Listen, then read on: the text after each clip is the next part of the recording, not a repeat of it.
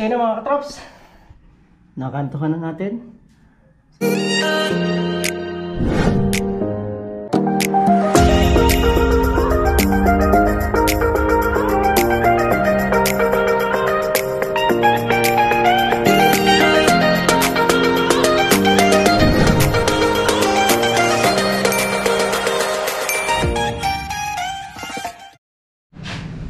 Ayun, ah, good morning po mga katrops.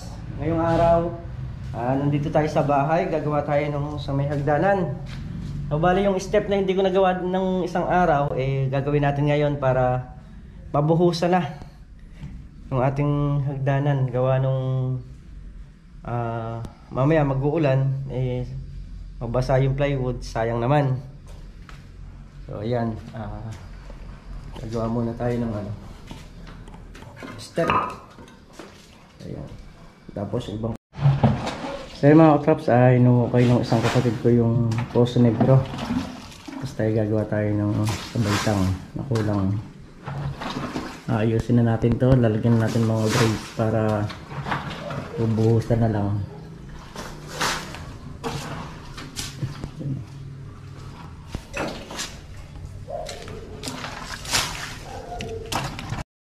Ayun mga katraps. Ayun yung ating baitang kakat ko na lang dun sa may dulo. At yan na lang yung kulang isa na lang na yan. Bali yung isa dito na nakalagay na. Yan o. Ito yung isa tapos last na lang yan ito. Hanggang dito. Tapos ito buo po siyang flooring tapos step na lang dito yung isa. Kaya mga props talagay lang natin yung baitang bali ito. Bukanan lang natin. Uh,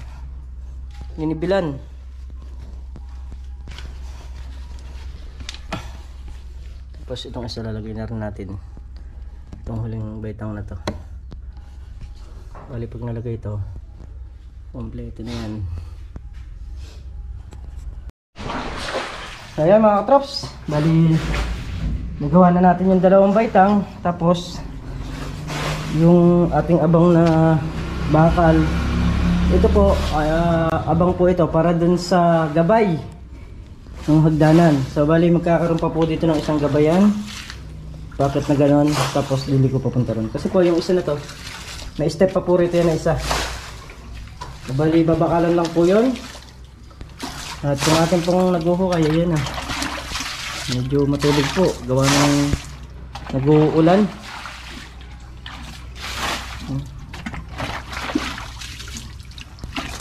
Siguro po mga 10 feet ang magiging taas yan kasi po yung pong asintada niyan kapantay ng asintada na ito.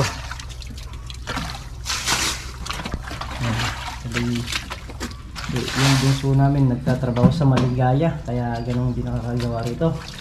Araw lang ng linggo pagka po si nakakagawa rito. Tapos yun nga po yung pangalawa. Ang bunso kanya yun yung pangalawang bunso dito na po tayo. Tingnan po natin kung mabubuhusan gaano nagpabili pa lang po ako ng uh, semento. Saka po yung tubular eh may nag-suggest sa atin na iabang na lang muna natin para mahuhuli natin yung kantuhan doon kasi may tubular din pong nakalagay doon yan. Mali ito po. Yan babakalan ko muna. So yung mga katraps yung pinabili natin tubular saka yung ilang pirasong semento nandito na. Uh, bali nagutos na lang tayo. Gawa nung may ginagawa nga tayo dito sa likod. Uh, kahit dyan na lang sa labas. So, ayan po.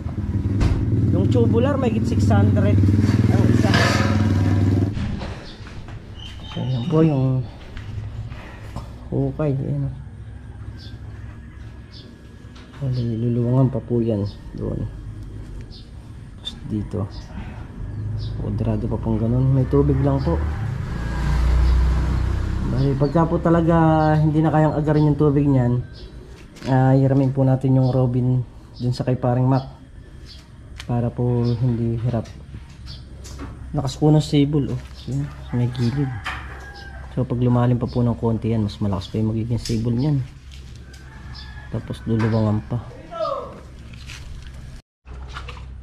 So yan na po mga katraps. Nahuhukay. Siguro nasa mga ah 7 feet na yung hukay. Kasi po yan, pantay po dito yan. Kaya po, dito pa lang po magkaka-flooring yan. Medyo itataas po siya natin ng hmm, sa. Tatlong hollow blocks po ang magiging taas niya. Bali, ito po yung ating ginagawa. Aha. Lalagyan lang po natin ng stopper yung ano, yung bakal para umangat ng konti sa flooring.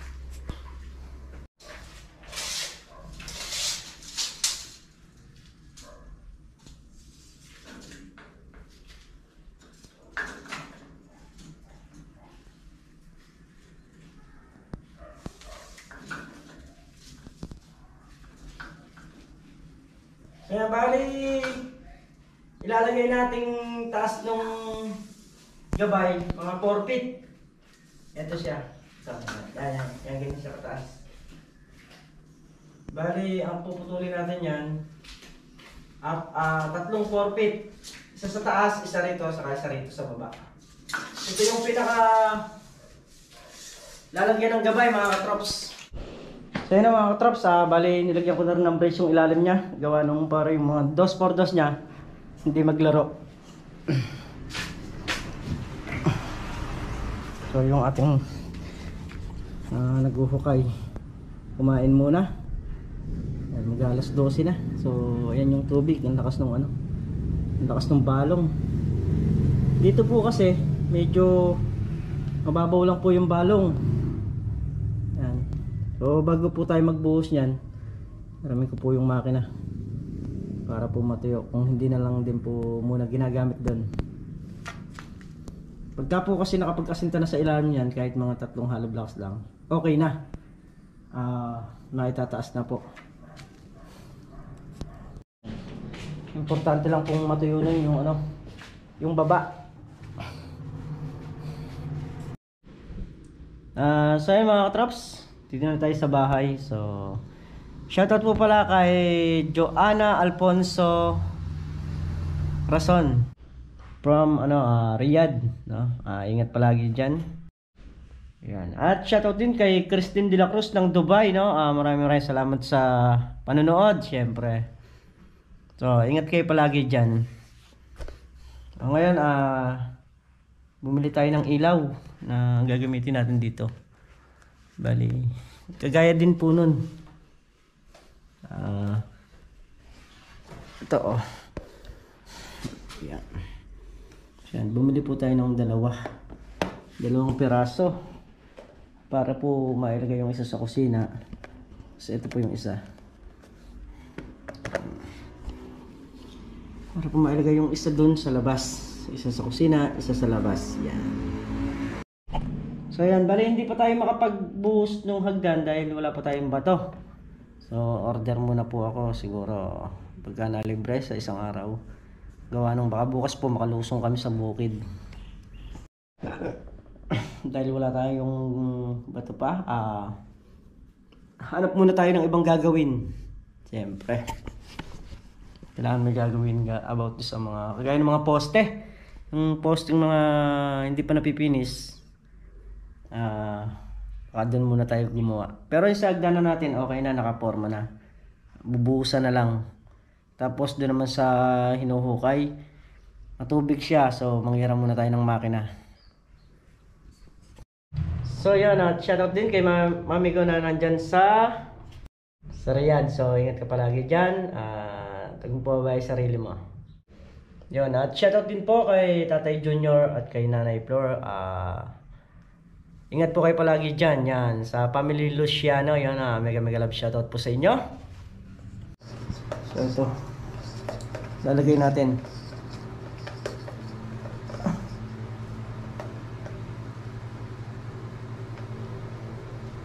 Yan. Para matesting natin mga katrops. Na. So hindi ko kasi na-testing kanina. Gawa nung Ah, yung kapatid ko kasi bumili nito. Yon! Wow! Ang liwanag ang buhay.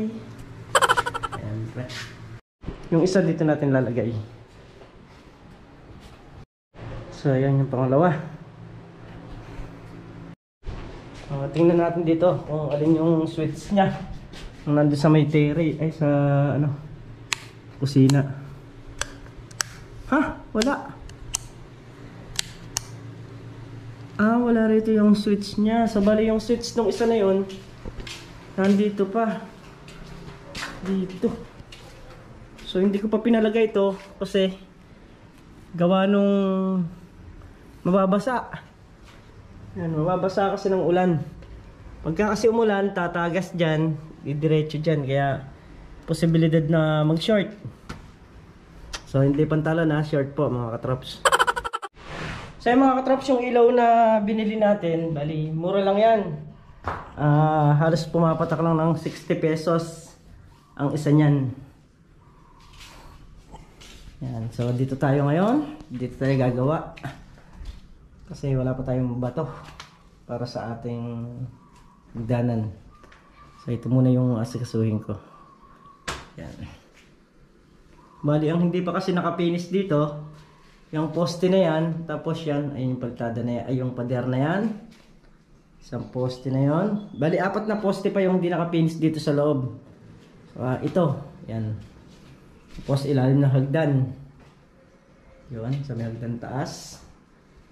Yan yung ating hindi pa nakatapos dito sa loob. So ngayon, magpipinis muna tayo ng poste. Yan. Yan, huhulugan muna natin yung posting ating gagawin para matansian. Para, para diretso.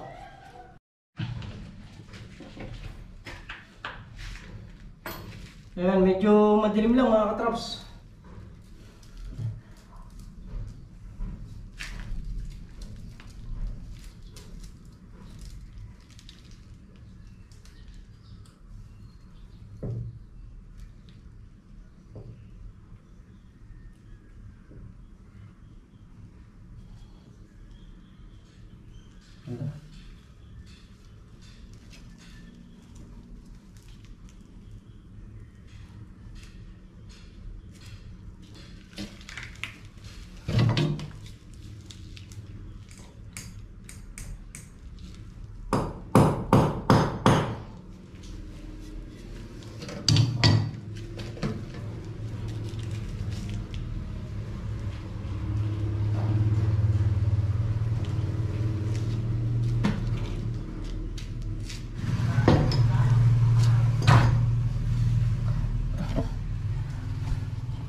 Ano? So yan, nilagyan natin ng hulog doon.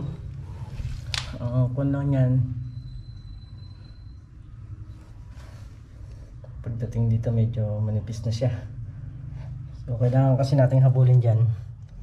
Itong gilid na to. Para madiretso natin. So dito, halos pikit lang siya. Ayan. Natawag na pikit. Dito siya tumatama sa may kanto na to. Hindi kagaya sa taas. May allowance siya. Ayan ah. So yung pako dun sa taas na yan, mga katraps, igagawin ko pa ng banda rito para mahuli natin yung baba. So yun mga katraps. Yan, sa taas. Taas mga uno medya. Ang ating ipupukol. Pagdating dito, pupukol na lang tayo ng mga uno. Ito na, ito na yung pako, pinakuhaan ko na. So dyan natin tatali yung tansi na to saka dun sa taas. Dyan lalabas po yung kadiretsuhan yan pagka nasa hulog.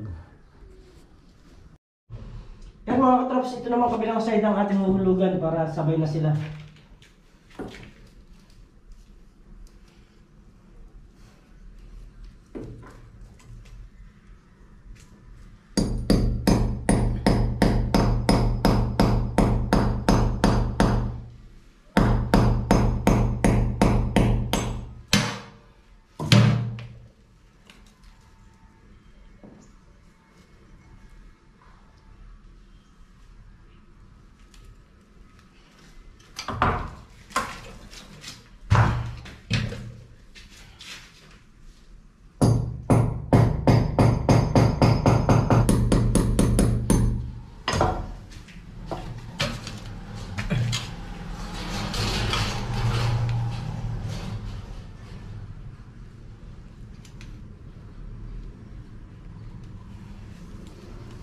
So bali nahulugan na rin po natin. Ah, lalagyan na lang po natin ng tanse.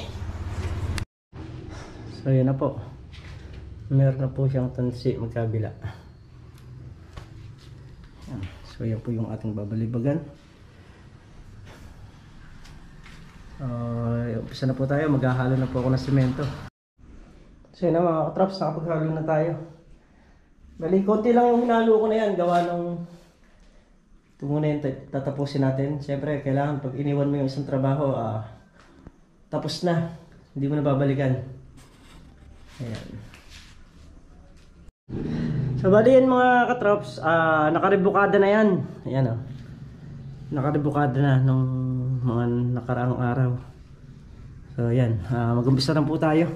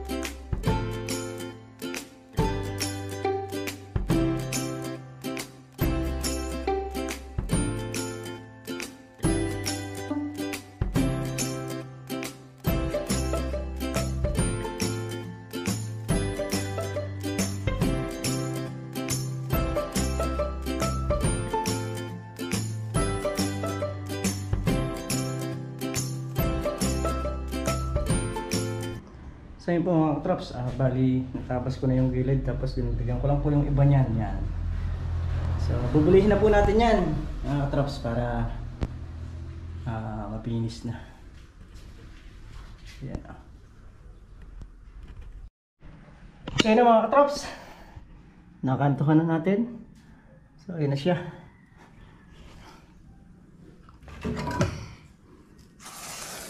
Yan ah. Ayan, tayo pababa. Bali dito pa lang tayo sa taas. Hindi naman tayo sa baba niyan. So yan na po mga katrops, ang finished product ng ating poste. So yan, bali hindi ko po siya pinuruhan gawa nung mas makapit daw po kung ganyan. Tapos skim coat. Yan, syempre nakikinig din tayo sa mga payo ng iba na kung alin yung mas maganda, mas matibay syempre. So yun na po, nakapinis na. So yan, bali ang naging project natin ngayon. Ito pong sa hagdan. So yan, dun sa mga bagong mga nag-YouTube ngayon, so silang mapapayo ko sa inyo. Tuloy nyo lang at kayo mawawala ng pag-asa, sabi nga nila, pagka may tiyaga, may sinigang. Ay, hindi pala, ah, nilaga pala. So, tuloy-tuloy lang mga ka-vloggers. Yun. Kaya mawawala ng pag-asa, darating din yung time na ah, yung mga pangarap nyo eh, kahit papano, unti-unti natutupad. Basta samahan nyo lang ng tiyaga, sipag, at respeto sa kapwa. Yun lamang. So yun mga katraps, malinis na rito sa likod. So bali yung lahat halos ng saging, ah, tinabas na at nilagay doon sa may dulo. So yan po yung ating likuran. So bali, ito gaya nga sinabi ko kanina. Ay, hiraman ko na lang ng robin para mahuhukay tapos maasintahan. Pag naasintahan po kasi yan, saka nabuhusan ng pinakaputing. Kahit po sumibol yan, ah, bali wala na. Titigas na po yung ating semento dyan. At maitatayo na rin po natin yung mga hollow blocks. So, yun po yung mga ganap ngayong hapon. O, syempre, ah, papasalamat ako syempre sa itaas. Pangalawa sa inyong mga manunood na laging nandyan nakasuporta. At sabi nga eh, tsaga-tsaga lang ah, natutupad mo ang bawat pangarap mo sa buhay. Ah, magsikap, magsikap ka lang at mag- magtyaga. So, eto na nga eh. Dati pangarap ko lang to. Yung bahay na yan, pangarap ko lang dati yan. So, ngayon, unti-unti, ah, nakukuha sa panalangin, saka sa tiyaga. Siyempre, kaya nagpapasalamat din ako sa inyo. ah, Unang-una, dahil naging parte ko ng Makimoto, siyempre. Tapos, pangalawa, nandiyan kayo na laging nakasuporta sa Tropang Bukid, siyempre. ah, walang iwanan, sabi nga nila. Solid ka body, solid ka trops, solid ka pares, solid ka MY, solid ka sangga, solid ka happy, solid ka HB. Yan. So nagpapasalamat po kami lahat. Di po kami magsasawang magpasalamat sa inyo. Yun lamang po at ganito na lang po ang ating video. Hintayin na lang po kayo sa next upload natin. Update ko po kayo pagka po nakapagbuhos na kami, nakagawa na ng CR. Update ko po kayo. So maraming maraming salamat po at ingat po kayo palagi. Bye-bye.